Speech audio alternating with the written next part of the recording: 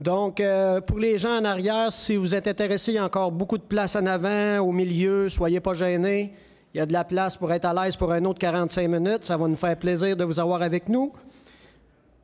Prochain sujet de conférence. Projet de gestation des truands en groupe. Tout ce qu'il faut savoir. Donc, les premières fermes ayant fait la transition vers la gestation la gestion des truands en groupe ont déjà quelques années de recul.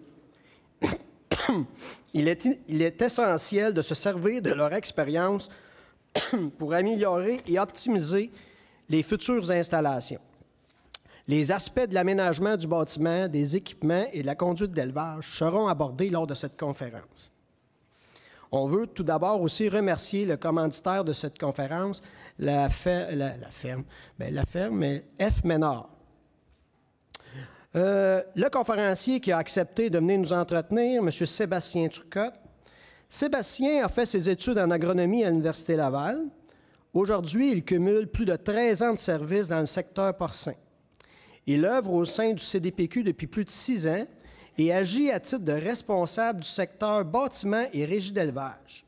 Il possède une expertise de gestion des truies en groupe, d'aménagement de bâtiments et de quai de chargement, et de mise en application des normes de bien-être.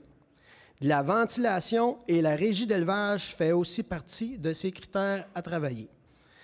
Ces tâches englobent la préparation de demandes de financement, la supervision de la réalisation des projets, la rédaction de rapports et d'articles de vulgarisation. Il travaille régulièrement à, à, conseiller directement des éleveurs par divers services qui sont offerts au CDPQ.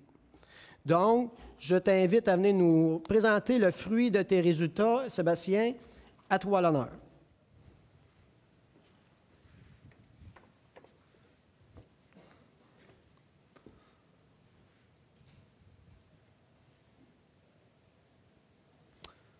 Tout d'abord, euh, merci Yvan pour euh, cette belle introduction. Euh, je voudrais remercier aussi le comité organisateur d'avoir pensé à moi pour venir vous parler des trucs en groupe. C'est un honneur pour moi d'être ici aujourd'hui.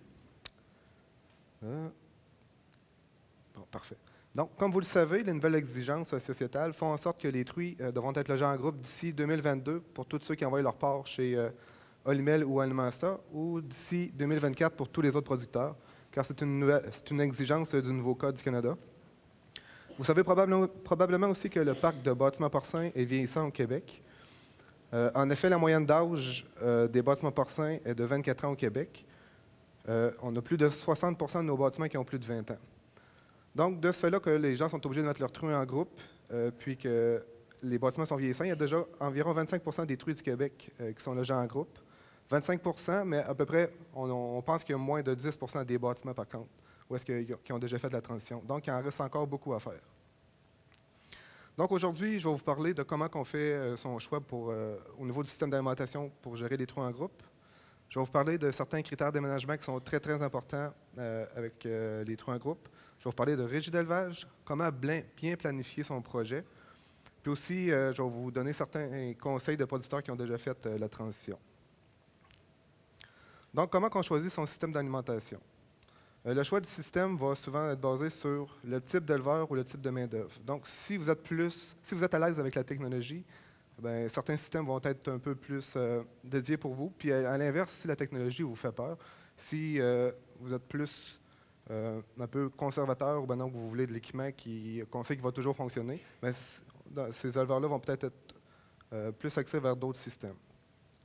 Le choix va aussi dépendre du niveau de contrôle qu'il va désirer sur l'alimentation.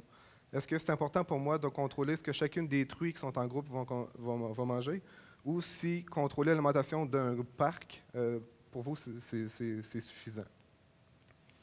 Euh, le choix du système va aussi dépendre du coût. Comment ça va coûter faire la transition, comment ça va coûter les équipements? Euh, mais il faut, aussi penser qu'il y a un coût, oui, de la transition, mais aussi, il y a aussi un coût de fonctionnement. Une fois que la transition est faite, comment ça va me coûter euh, au niveau de l'entretien de l'équipement. Comment ça va me coûter au niveau de l'alimentation? Est-ce que ça va me coûter plus cher de mouler parce que j'utilise tel type de système? Donc, c'est toutes des questions qu'il faut se poser euh, avant de faire un choix. Euh, comme vous savez, il y a plusieurs systèmes. il, y a, cinq systèmes d'alimentation pour les trucs en groupe. On peut les classer en deux catégories. il y a des systèmes où est-ce qu'il y a de la compétition pour l'aliment, donc système de bas flanc et puis d'alimentation au sol. Euh, système où est-ce qu'il n'y a pas de compétition pour l'aliment. Euh, oups, pardon. système de réfectoire autobloquant. Euh, par contre, dans ce système-là, c'est une alimentation homogène pour toutes les truies. puis il y a deux autres systèmes où est-ce qu'on peut contrôler l'alimentation de chacune des truies. Donc, système de DAC et puis de DAC autobloquant. Donc, il n'y a pas de système parfait. chaque système a ses avantages et ses inconvénients. Au niveau des systèmes où est-ce qu'il y a de la compétition pour, l'aliment, donc alimentation au sol ou système de bas flanc. Comment ça fonctionne dans ces systèmes-là? Toutes les truies vont manger en même temps. La moulée est distribuée soit... For floor feeding and shoulder stalls, there are pros and cons. So in that case, we don't have any uh, control on what the sows will eat. The advantage of these systems is that they are simple, low cost, and we can reuse a lot of uh, existing buildings and equipment. C'est aussi facile de faire de convertir les It's also easier to convert existing buildings. Uh, now for the downsides, there's no control over what the sows eat. And often we've noticed that the feeding cost is normally higher in such system because you have to give more food for each sow. Now, for things to work well with these systems, obviously the producer has to be a good observer. You know, he has to be present during meals to detect problematic sows. And during meals, all the sows eat at the same time. So that's when you'll see if there's a sow that's setting itself apart. Well, this sow probably has an issue, so you have to act quickly. Maybe that sow is being attacked by the others, or the dominant sow doesn't let her eat, or it's wounded, or something like that. So you have to act quickly. And which system is also important to be very meticulous when you form groups in the same group. You know, you have to have the same parity, same flesh condition, same size. Now for self-locking free access stalls. This currently looks like the uh, most of the uh, gestation uh, stalls. Now the sows can go in and out of the stalls as they want, and there's a common living space between two rows of stalls. In such systems, feed theft is impossible. That's one advantage. But the other advantage is when you'll form groups of sows, the first time you'll form the group, the sows can go hide, they can go uh, take shelter in the stall. So normally there's less bickering, less infighting amongst the sows. Such system. Now for the downsides, you need a large building area, which represent uh, represents a bigger investment. Often, you know, the buildings will be 10 to 15 percent larger than with other feeding systems. It's also hard to adapt to existing buildings. If a producer already has a conventional system, you want to use this system, he'll have to go into major renovations, you know, break all the concrete to install such a system. This system works very well for all types of producers. Know, if you have good results in, in stalls, you'll have good results with this. Now for the ESFs and the self-locking ESFs, for the operation of these systems, each one of the sows is identified with an RFID, and to eat, the sow needs to go into the ESF. The sow will walk in, be identified by the machine, then the computer will set out the food according to the parameters that the producer will have entered into the computer. Now, the difference between the ESFs and the self-locking ESFs and the in, in a large ESF, normally you can feed 60 sows. Another machine can uh, supply up to 80 sows at the same time. Now, for the mechanism, for the opening and closing of the locking system, it's automatically. It's done with pneumatic systems. So the sow goes into one door and goes out through another door. And the system also gives water. Water is given at the same time as the feed. Now, in the self-locking ESFs, the self-locking ESF can deal with 20 sows. The sow walks into one door, and when it's finished eating, it has to back up. So, so it has to come out of the same door. In the mechanism, it's the mechanism that will open and close the doors by itself. So the system is a lot more simple compared to the conventional ESFs. And in these systems, there's no water that is given compared to the uh, standard ESF. So the advantage of both systems is you're certain to give the right quantity of feed to the right sow at the right moment. And we've also noticed um, that you don't need as much feed as for systems that it, where you have competition. This savings is between 15 and 80 kilograms less of feed per sow per year compared to floor feeding or shoulder stall feeding. These systems offer many possibilities, so we can mark sows, we can brand them, you can detect heat, you can give precision feeding, you can manage uh, the feeding of sows uh, remotely, and also the ESF system allows us to grade animals. You know, when you have dynamic groups, for example, in my park, I might have uh, sows from various groups that are at different uh, stages in their gestation. So we'll say, well, th- this one will go into the farrowing section. So when the sow goes into eat, then the machine will send the outgoing sow into a different direction. Now, the downsides, well, obviously, they have higher technology, they're more complex. It's also more costly than other systems. Well, it depends what you compare them to, of course. And you need a certain amount of animal training. You know, the animals have to learn how do these systems work. For ESF systems, a certain training must be given to make sure that 100% of the sows know how to use it. You'll need seven to 10 days approximately. And for the self-locking ESFs, it's quicker, three to five days. And normally uh, 100% of the animals have understood how to use it. Now, for success, you need producers who are comfortable with technology and mechanics, who are uh, handymen. And for the training, you need people who are animal lovers, patient, because sometimes it can take a while before uh, gilts or sows understand the principle. And you also have to be very observant. Instant systems, the sows don't all eat at the same time, they can eat one after the other. So if you want to detect what's going on in the pen, you have to make them stand up, you have to look at whether they're healthy or if there's any lameness or something like that. Now, one of the most important pen layout criteria it's important that in all systems, whether it's uh, shoulder stalls or ESF or self-locking ESFs or whatever the feeding system, the layout of the pen is extremely important. A bad layout will lead to confusion among sows, which normally leads to an increase in aggressive behavior. That's when we'll see uh, vulva biting, we'll see in more frequent and a larger intensity of fights. And what happens when the layout is not optimal? It means more sows will be taken out of the pen. I've even seen uh, reductions of performance sometimes because of this. So, to give a good layout to the pen, you have to understand the sow's behavior. Given the choice, the sows rather lie down on a solid floor compared to a lattice floor. The sow prefers to lean on a full wall compared to a wall with holes. And you'll notice fairly rare to see a sow that's lying down in the middle of anything. Normally, they'll look for corners or you want to lean on a wall or something. Sows will look for drafts in the summer and try to avoid them in the wintertime. Normally, sows will relieve themselves close to the water sources, so you have to use this behavior to our advantage when you lay out the pens. And as you know, sows are hierarchical animals. They use aggression to establish dominance. So when you're thinking about layout of the pen, you need to give the possibility of sows to be able to avoid fights and run away.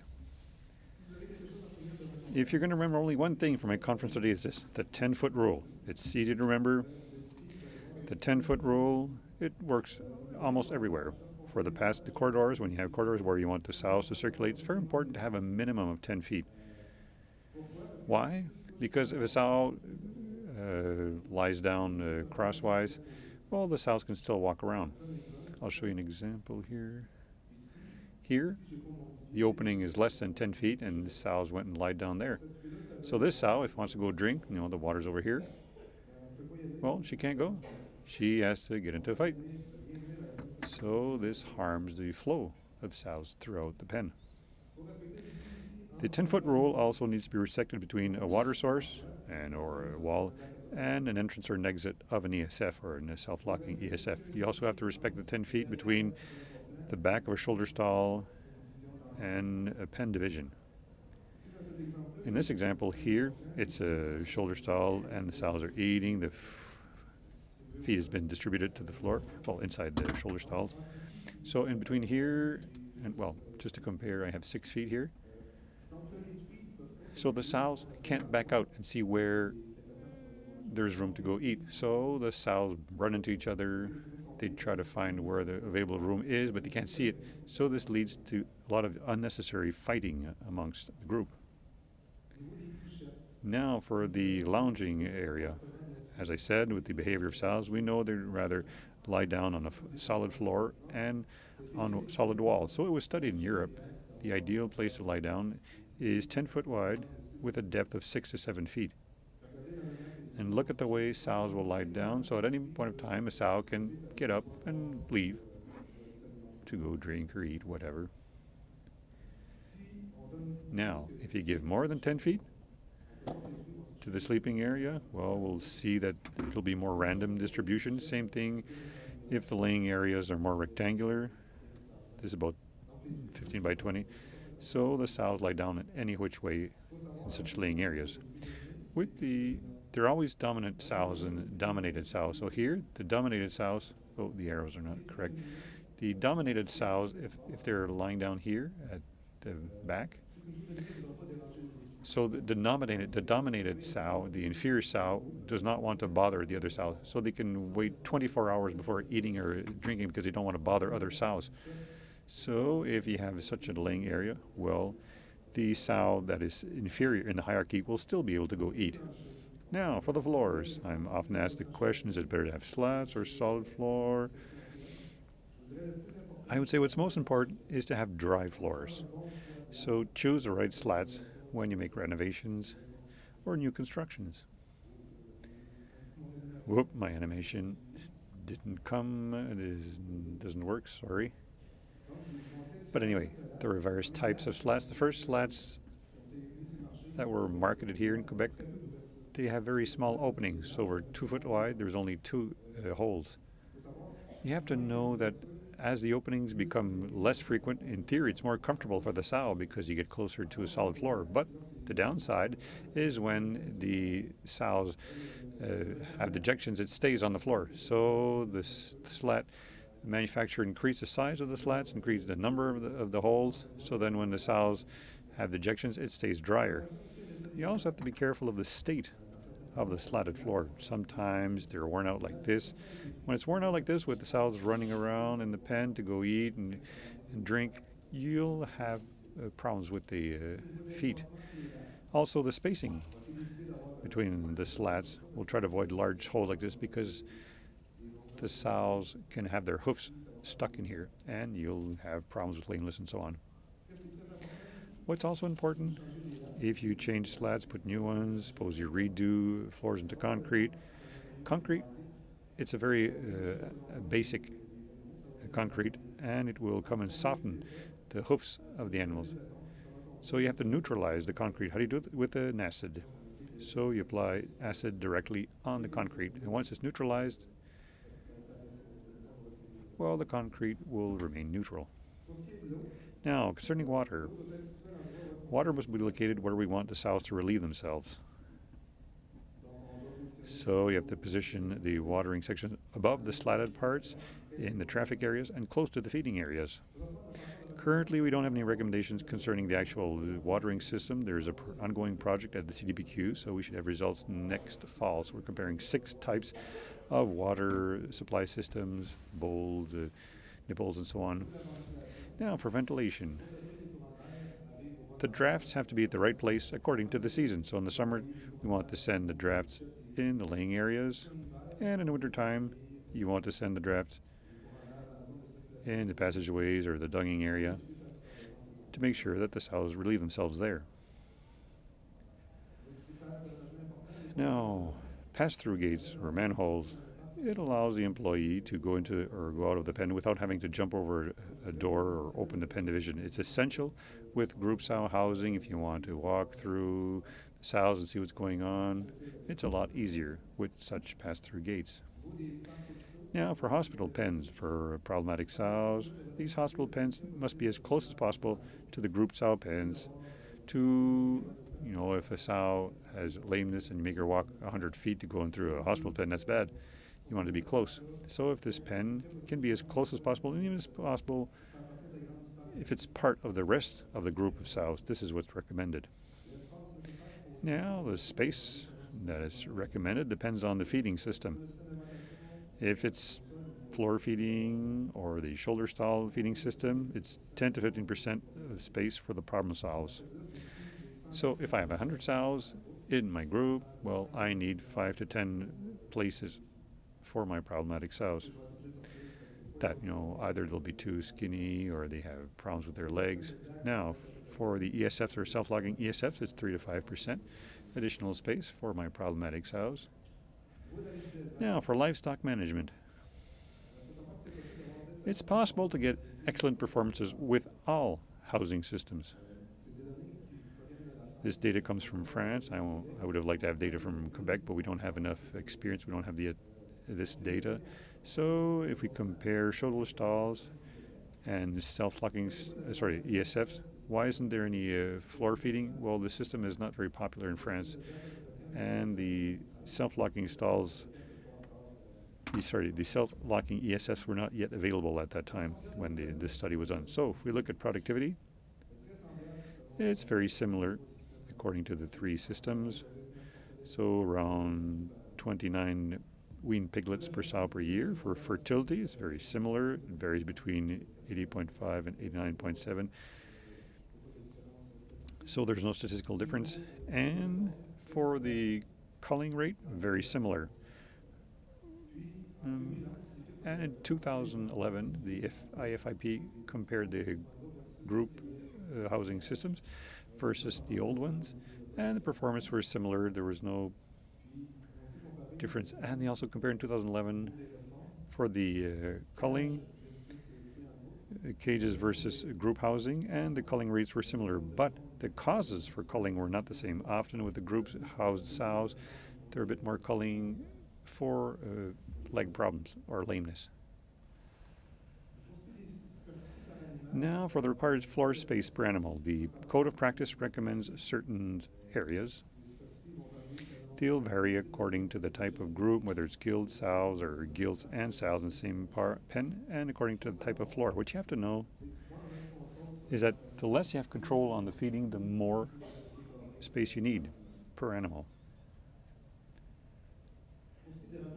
Now, the minimum recommendations according to the systems. This is based on various studies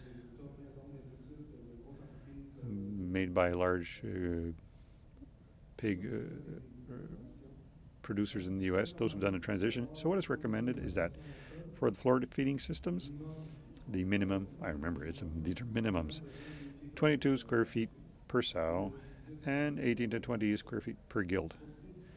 For the shoulder stall system, the minimum recommendation is 20 square feet per sow and 16 to 18 square feet per gilt. And for the shoulder stalls, the surface inside the shoulder stall must not be included in the 20 square feet. And the recommendation for ESFs and self-locking ESFs is 19 and 15 for the sows and gilts. Now, the fight management. Unfortunately, group sow housing means that there will be fights.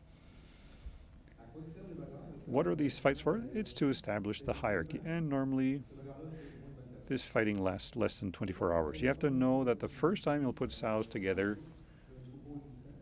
you know, from a uh, herd that has just been in, in stalls before, the fighting will last longer. Sometimes it will last for weeks. Why? Because the sows who've never been housed in a group, they've never learned how to socialize. So for them, they don't know how to intervene with, they don't know how to interact with other sows. So they think that aggression is the best solution. They haven't learned how to run away. So there are some tips to reduce some fights. Well, even if somebody uh, uses all these tips, you'll still have some fighting, but you won't have so much. The intensity also will go down. So amongst these tips, You can put sows of the same group side by side in the servicing pen. This is fairly easy to do. You could put the same sows from all gestations together, so always have the same sows that come together. So every time you'll put this uh, group back together and give an extra meal in the servicing pen before forming groups. So sows that have a full stomach often will probably feel like lying down compared to fighting. Additional meal before they arrive, especially with the shoulder stalls or floor feeding system, you make them eat when they're in servicing pen, and when you send them to the group, you give them another meal. So the sows, instead of thinking about fighting, well, they will probably feel like lying down. Now, once the groups are formed, you can close the room lights. You can also use products that mask the sow's smell. I would say works more or less. Some producers think that it works well, some say it doesn't work. Have well designed pens with escape zones. So if you have a well-designed pen, it's very large and there are panels certain places, well, the sows can run away, can go hide from the sow that's attacking them. And it's important to respect the recommended surface areas for each system. Well, sometimes you design a pen for 60 sow, but you put 65,000, well, you're not respecting the square footage. And to enrich the living spaces, well, when you form groups, you won't have much impact, but enrichment of the living space of sows is important. Once some sows will go and play with those objects. It could be suspended chains, could be you know a balloon at the end of a chain, a piece of wood. You'll see those who use such an enrichment of the uh, stalls or the pens, the sows like them. Instead of going to aggress another sow, they'll go play with one of these objects. Now, concerning the size of the ideal group, I'm asked this question quite often. How many sows should I put in my pen? Well, I say it depends on many things. It depends on the system, depends on the size of your facility, of uh, how you manage the, the livestock. What you have to know is as the group becomes smaller, the hierarchy becomes stronger. As you can see here on the picture, if in such a small park I have a sow who's very, very dominant, well, it can decide that the other sows will not eat. But if the sow I put it in a park of 50 or 60, well, this super dominant sow cannot dominate all the other sows. You have to know that starting at 40, 50 sows, they don't recognize each other as well, the sows. So instead of fighting once against the other, well, they run away because they don't know if the sow, they've had a fight with uh, that sow, yes or no. So you have to use this when you'll decide the group sizes. Also, as the group becomes bigger, if you go to the other extremes, you have 100 120 sows per group. If you look for one sow there, it can be long to find it.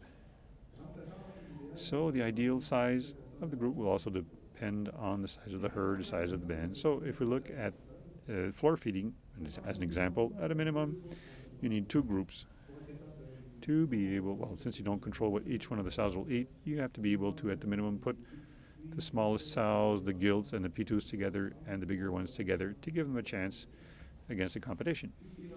And what is recommended is in a group size between 10 and 25 sows. Why not below 10, as I explained earlier on? If the park is too small, the dominant sow can have huge control on all the other sows. And why not more than 25? Well, at some point in time, it becomes hard to have a homogeneous group of sows. Now, for the shoulder stalls, same thing. Ideally, two uh, minimum two groups per band, and bands of 10 to 30, uh, so for the group size. Now, for the self-locking ESFs, recommendation is to have parks of 40 or 60 sows. Why? Earlier on, as I said, a self-locking ESF can feed 20 sows. I also said that starting from 30 to 40 sows, the sows don't uh, recognize each other as easily, so we recommend is to have, say, 40 sows, have two machines, so if one breaks down, the sow can still go eat in the other one. And for the layout, you can have various zones, one for eating, one for laying. You know, it's easier for the layout, sorry. And for the ESF, what we recommend is to track what the manufacturer recommends. So if it's a machine for 60 sows, well, it's probably better to have 60 sows. And if it's a machine for 80, well, to be as close to 80 as possible. Now, when you work with group sows, the work is very different. Often you need to walk amongst the animals to see what's going on, to see if there's lameness and to look at the body condition. You need to be more observant. than when they're in uh, stalls. So what is recommended to have kind of your kit for these rounds? You know, paint, markers. Some will have antibiotics and anti-inflammatories. So the fact that a sow has a leg problem, they'll be able to treat them right away.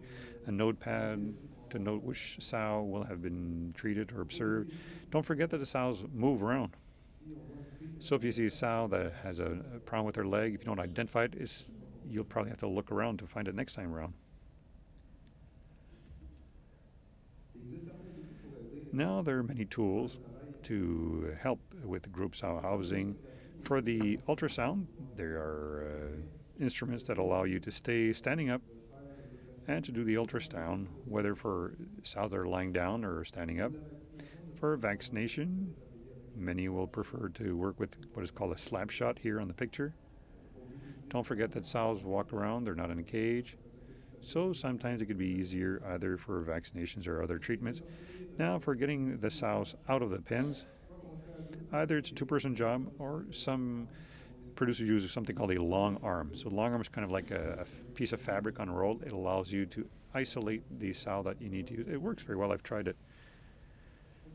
You also have to know that for ultrasounds vaccinations, it's faster installs for 9% of the pen's animals, but the last 10% can make you dizzy. Sometimes you'll have to run around a lot to be able to do uh, perform whatever action you want to do.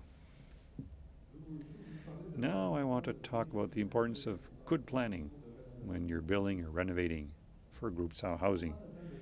You have to think about the future of the farm and which direction you want to take it. You mustn't be afraid of involving all the staff and the next generation of workers because they're the ones who will be working with this whole system. Don't be afraid of questioning everything. You know, do you want to increase or decrease the number of sows? Do you want to change your livestock management practices, go to two weeks, four weeks, whatever? Can I use another section of the building for group sow housing? You also have to think about the other work that needs to be done, medium term, long term. So, should I do renovations in the farrowing section? Should I modify my ventilation and so on? So, when you have a rough idea of what you want to do, as a project, I give it. I tell you to. Often, it's a good idea to start the administrative steps right away. If you have to increase the number of sows, you have to go get your authorizations from the environment department. Then you have to validate with the municipality if there are any regulations that you know prevent you from increasing the area. Sometimes you can't even make a building bigger if you don't increase your number of sows. If you enlarge a building, you have to check are you still respecting the necessary distances the, with the neighbors? Ask for all your permits with the municipalities. You know, fill out whatever formulas to obtain financial aid from the MAP Act that was announced uh, recently. As I said, these administrative steps can take a year or even more, especially with the environment, since there are many projects that are currently ongoing, whether in the, the hog sector or in the dairy sector. Often, this will take 10 to 12 months just to get the paperwork done. Now, when you have a clear idea of what you want, then you have to make choices. You have to choose a system, and if the system there's more than one vendor which can supply that system, well, you have to choose which vendor. You also have to choose a contractor. Don't forget that agricultural contractors are already overbooked. They work in dairy and poultry and, and hogs. So, to summarize, the project you have in mind now, it could really take up to two years before you could implement it. So it's important to plan correctly. Now I'll talk about the transition type that we see more and more often. People build a new farrowing uh, barn and then they renovate, well, they transform the current farrowing section with a, into a gestation section. Why do they do this? Well, often their farrowing section is obsolete. They want to put bigger cages, 6 by 8 to try to improve their performance. They'll also install equipment like uh, feeding systems to maximize eating. Often, a question I often get, what am I going to do with the herd I currently have while I'm doing all this renovation work? Well, it depends on the project. If the project involves the building of a new building or an expanding the size of an existing building, you start by building a new section. Then you use that space to take this house from the current herd, you send it to the new section. So this clears up space to do the renovation in the existing building. Now, for a farrow to finish farmer, if there's no expansion, well, you can put some sows into the finishing part to do work in the gestation part. For some, you can rent a building. You have to be careful, you know. Uh, sometimes a new site with biosecurity is not ideal, but it could be a solution to rent a building. But I've also seen a temporary reduction in inventory, so we could use for all groups or one group, uh, one person call the whole batch and just purchase pregnant gilts. And if you're stuck with certain diseases, it might be an advantage to just do a depopulation repopulation cycle. I also wanted to talk about uh, advice from producers who've done the transition already. You have to remember that during renovations, it's all about compromises. You know, compromise between the cost of transition, how much it's going to cost, and the optimal layout, Sometimes, when as you're looking for the optimal layout, it increases the price. Many producers try to keep existing floors without breaking too much concrete. It's possible to do so. It depends on the system. It depends on the floors you have. Now, the cost of breaking concrete varies between 8 and 11.50 per square foot. This includes, well, actual breaking of the concrete, redoing new floor, or for the either solid floor or slatted floor. Sometimes it's better to do things right at a higher cost than to live with a bad decision for the next 20, 25 years. I want to show you an example here. I'll need Alex to cue video, Alex.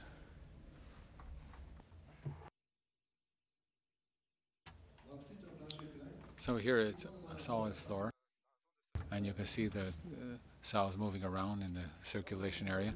As you can see, there are some sows that are going to hurt their uh, feet and end up with lameness. And there are a number of solutions. Ideally, on that farm, they ought to have broken the concrete, and in that zone, it should be with slats because it's a circulating area. However, one could do things with the existing floors.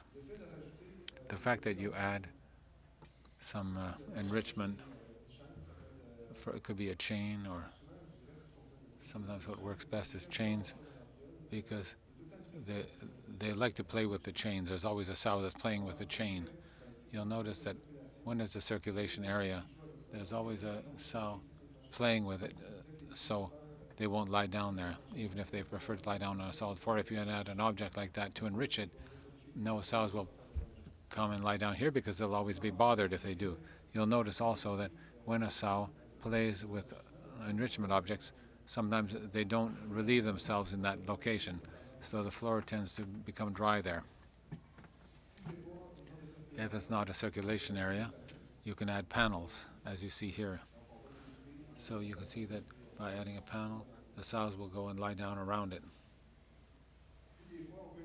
And sometimes you can encourage the sows to relieve themselves in certain areas. You, you can add nipples, suspended nipples such as these, and it's almost for sure that they'll relieve themselves in that area. Of course, it wastes a bit of water, but by having a wet floor here, then the sows will relieve themselves in that area. Regarding uh, slats modification in gestation, when renovating, often the slats are in good condition in the gestation area, but they have openings like here.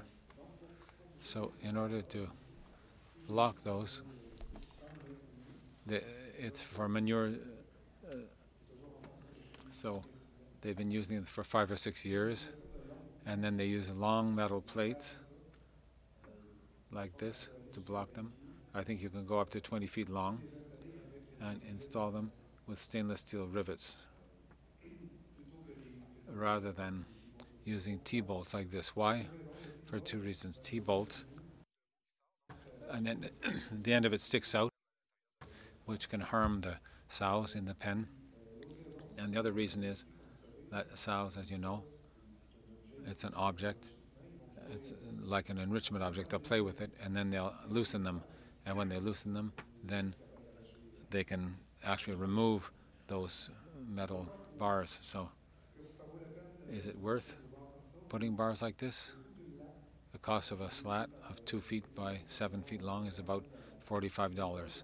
So sometimes you have to look at the pros and the cons and decide if it's worth recycling those slats for five or six thousand dollars that it'll cost.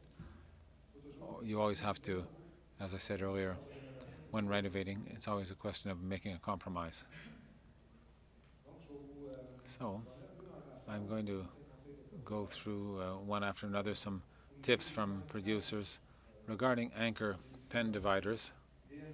Ideally, you want to have them anchored at two places from uh, floor to ceiling.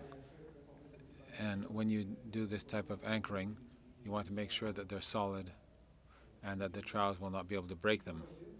If it's not possible, and you just have a pole that is as high as the plastic panels, then use U-bolts instead of T-bolts. They're mu uh, much more difficult to install, but they're much more solid.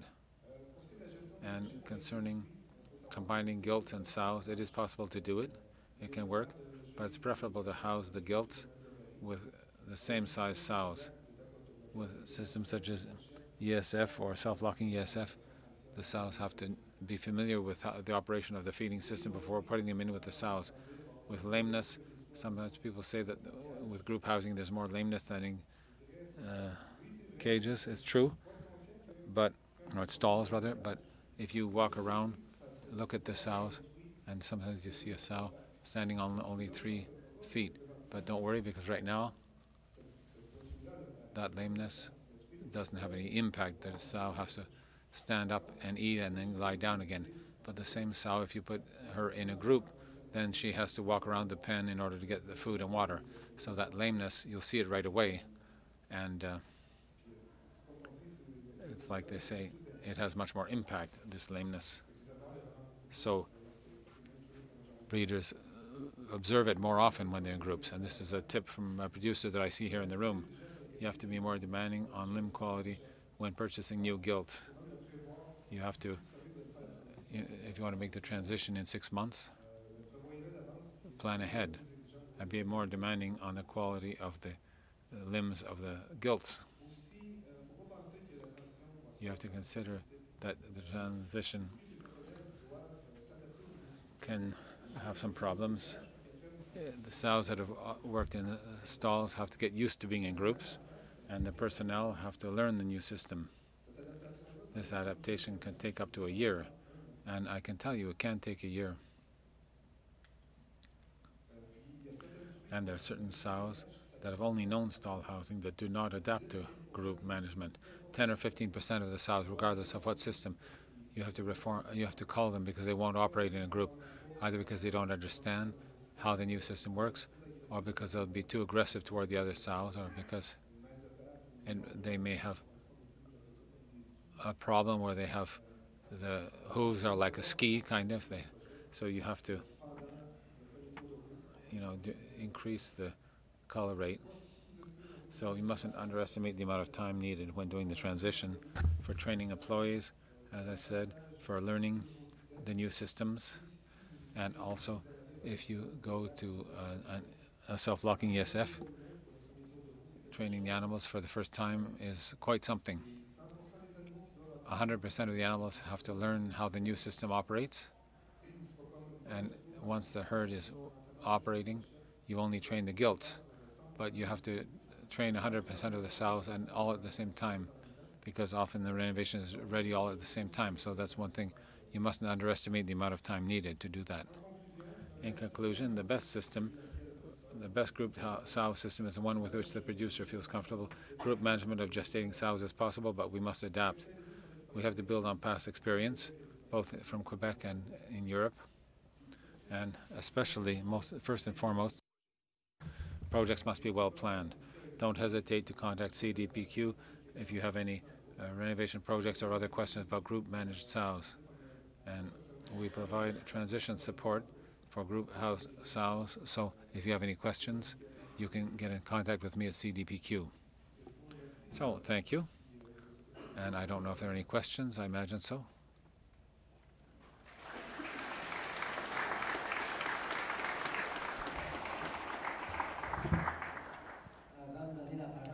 before we give the floor to the room, I'd like to say, Sebastien, there have been a couple of conferences where I see group house sows, And I can tell you it's a mine of information in this one. It's really amazing.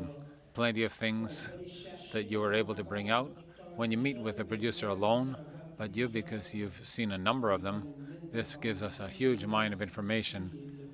So uh, acidifying the concrete to make it less dangerous for the the hooves, then the 10-foot rule. These are things I learned about today. It's fantastic. So I understand that you really uh, lapped up the information. So are there any questions on that? No questions? Maybe I have a little one. Well, do you want to go ahead, Thierry? We'll take a question or two, and then after that, go ahead, Thierry. Yes, I was wondering if you evaluated. You know, you mentioned you have to be comfortable with the system, of course, but which system is the most profitable? Taking everything into account, the feed and everything. Unfortunately, I cannot answer that question.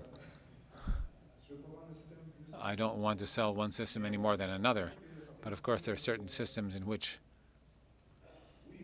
yes, it'll be less expensive when you do the transition, but on the other hand, for the next 10, 15, 20 years, it's going to cost more for the feed but I can't really tell you. I did not do that analysis. You have to understand, Thierry, it's a little bit like the dairy producers. They have a carousel with a, a, a robot, and uh, I think that they have we have the same challenge. The producer has to be comfortable with it and be able to get the service that comes with it too. But I can understand that you had a good question regarding finance. Remy, the last question. Yes, well, I would just like to know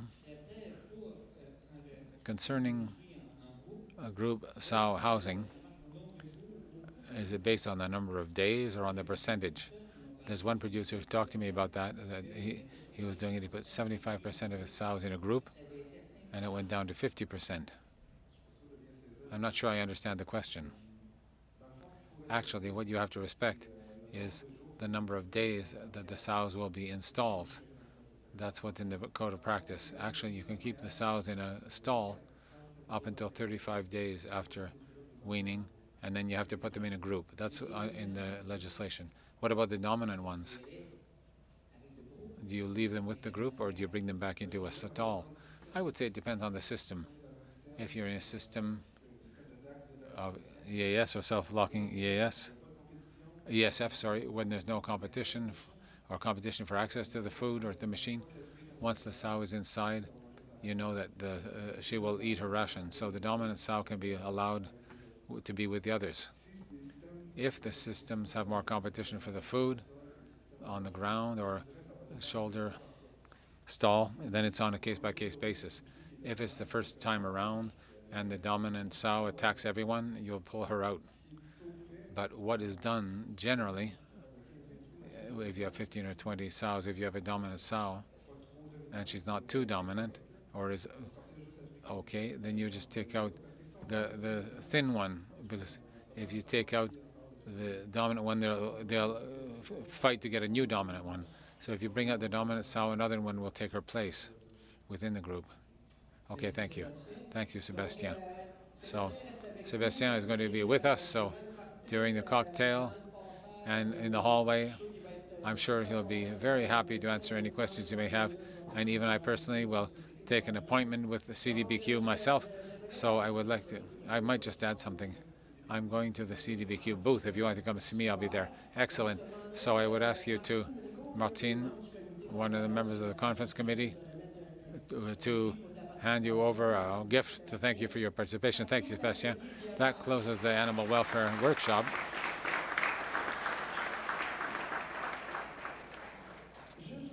I just want to mention, friends, that the presentations you saw here this afternoon and in the other workshops will be available in a video format over the coming weeks on the website of the Pork Show in the conference section.